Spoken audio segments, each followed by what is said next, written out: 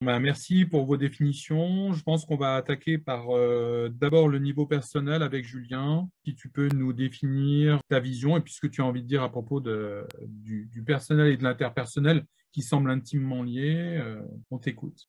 Il y a un, terme euh, qu'a dit Eric que j'adore. Il a parlé de, de, magie. Il dit que c'est, il y a quelque chose d'un peu magique qui se dégage de cette compétence.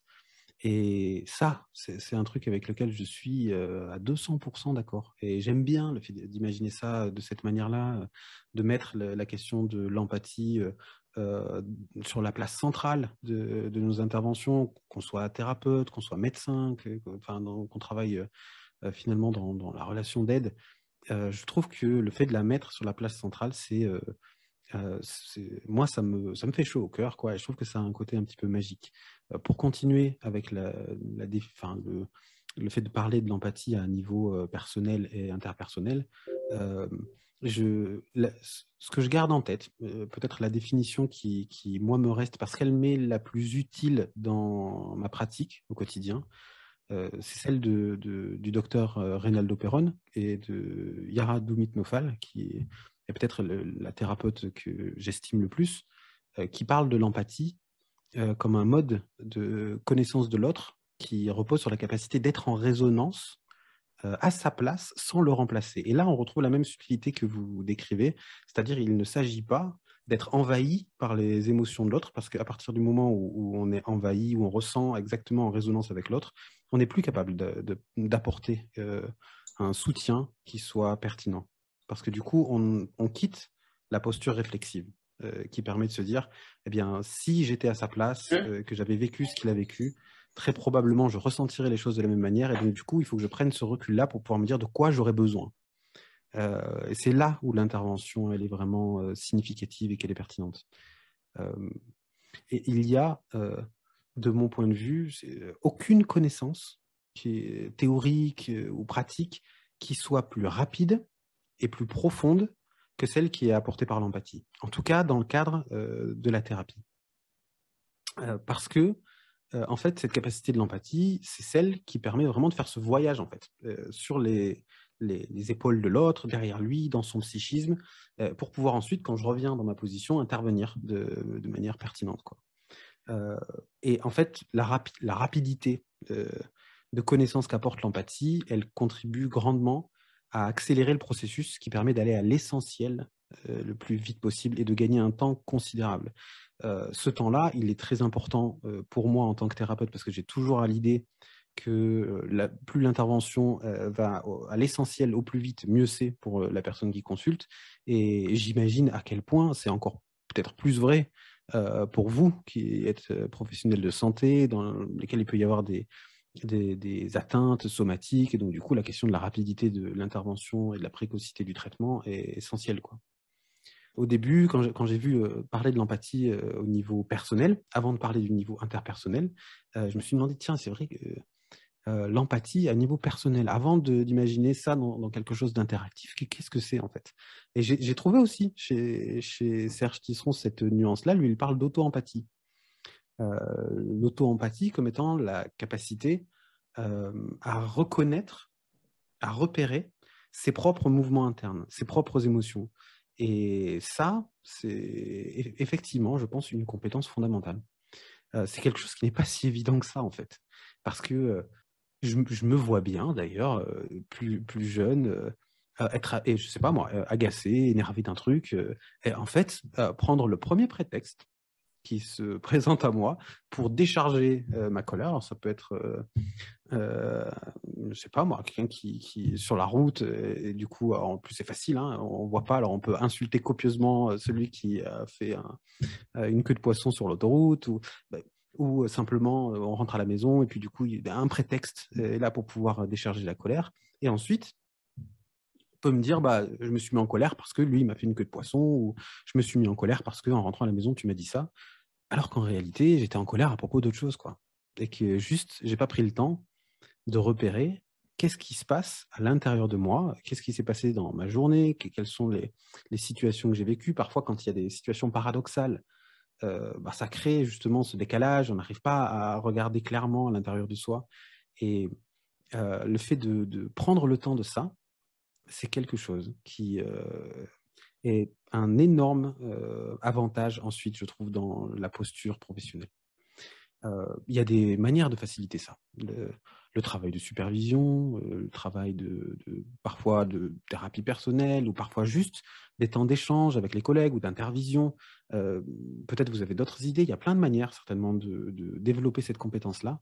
Et je me dis, voilà, cette capacité d'auto-empathie, c'est-à-dire de repérer chez soi euh, les mouvements, les émotions, pour pouvoir ensuite euh, soit les laisser passer, soit les mettre à distance, en tout cas de faire en sorte que ça ne rejaillisse pas ensuite bah, dans notre pratique professionnelle, parce que ce serait le pire.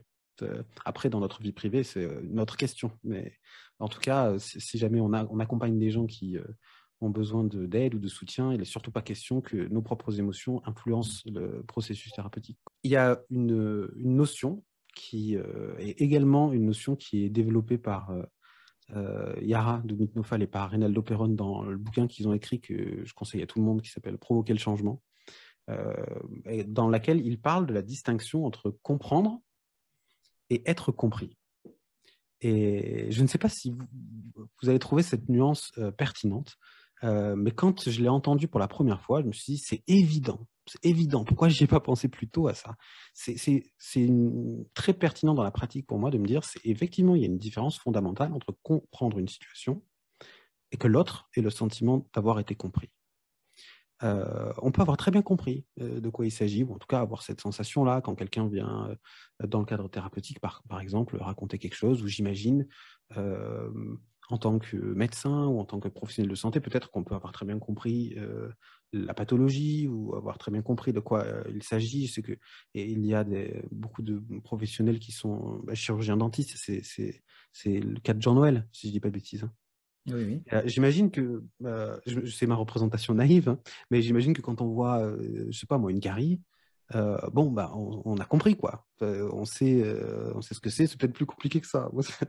c'est ma représentation naïve. Mhm. et je me dis, mais c'est probable, c'est très différent du fait que le patient ait le sentiment d'avoir été compris dans son problème. Et ça, c'est décisif dans la réussite du traitement, probablement.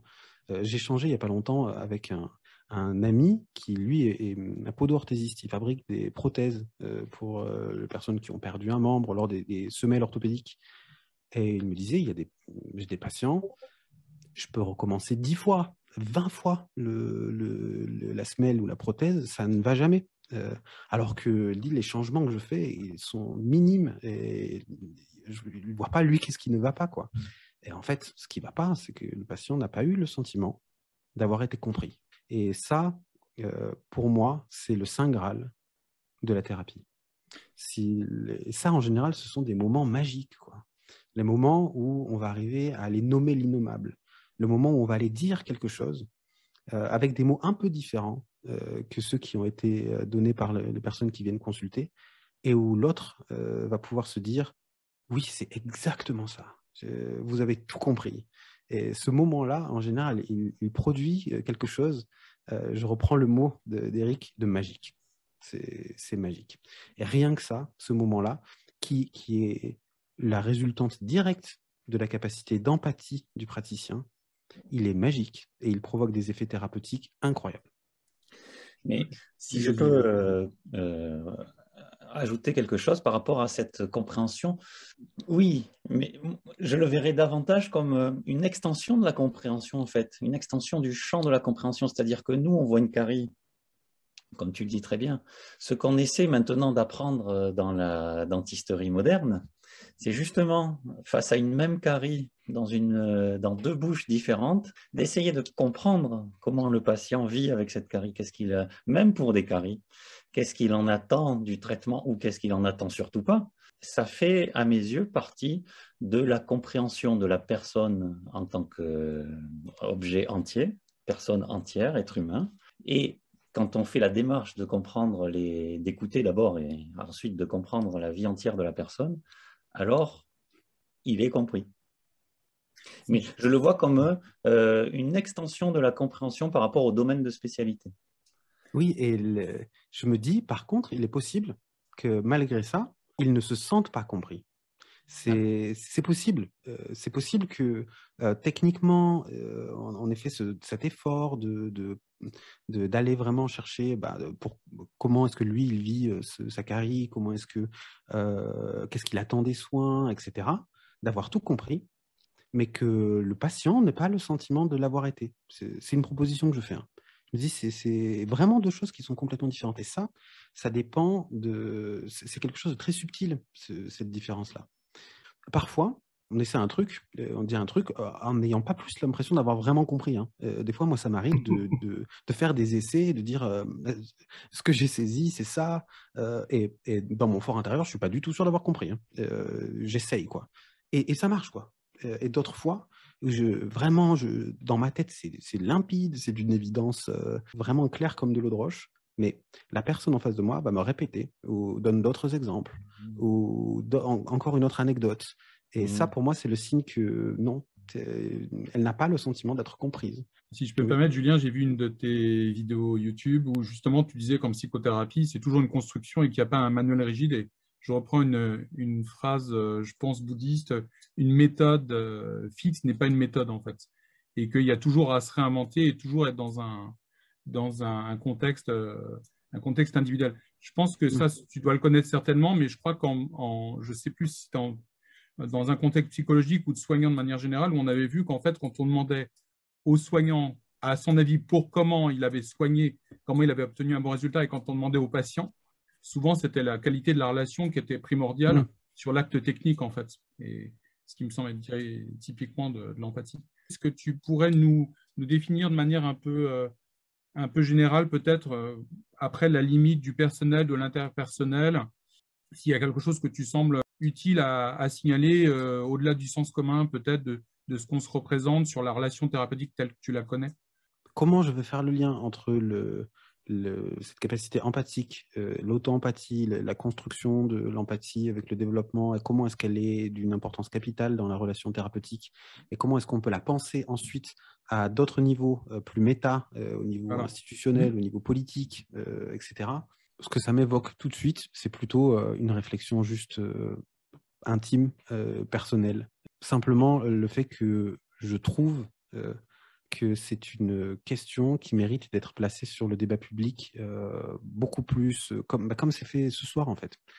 comme j'ai entendu, bah, là l'article du, du, Monde qui parle de ça, bon, ça me touche beaucoup de voir qu'on parle de, cette capacité empathique beaucoup plus, parce que j'ai la sensation quand même qu'on vit dans un monde euh, qui peut avoir un côté un peu froid et déshumanisant parfois, euh, et que euh, pour autant, euh, on est des individus euh, sociaux par essence et que cette capacité d'empathie, c'est celle qui est intimement reliée avec notre bonheur en fait, avec le fait qu'on puisse se sentir compris, avec le fait qu'on puisse se sentir en lien les uns avec les autres.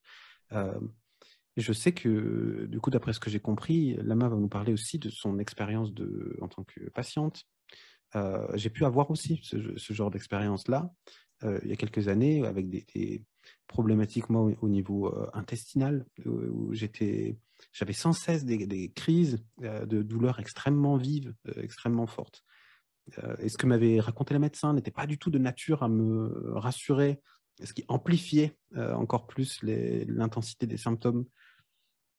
Pour autant, ils étaient très compétents. C'était des gens qui étaient très, très techniques. je pense euh, des, puits de savoir. Euh, il, m'expliquait tout euh, très bien, même pédagogiquement, c'était très, c'était parfait.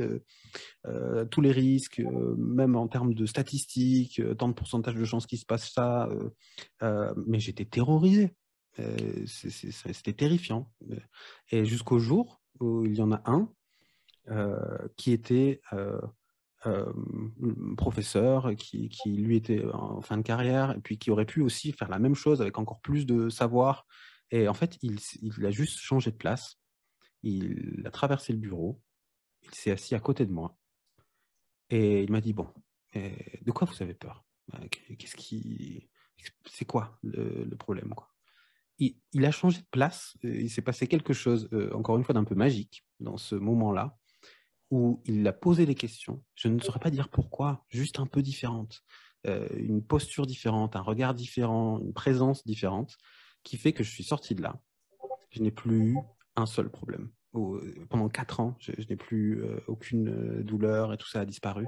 Tellement, je pense que à ce moment-là, je suis sorti avec le sentiment d'avoir été compris. Lui n'a pas eu besoin d'un bagage de connaissances énorme, il les avait, il ne les a pas étalés juste.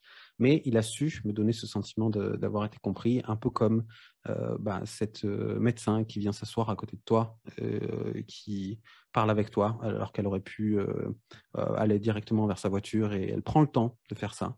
Et ça, je trouve que ce sont des, anecdotes, ce sont des petites expériences qui, font du bien à se rappeler et, à exister dans le, dans le débat public et notamment dans la question du système de santé. Du coup, si je dois faire le lien avec un niveau un peu plus méta, un peu plus institutionnel, je veux simplement dire que je suis ravi que cette question se pose, notamment à l'hôpital, dans, ces grosses machineries quand même, qui, qui sont très institutionnalisés. Euh, mmh. euh, donc, du coup, que la question se pose comme ça, à cet endroit-là, euh, franchement, ça me fait chaud au cœur. Très bien. Mais écoutez, on... merci beaucoup, Julien. On va passer à.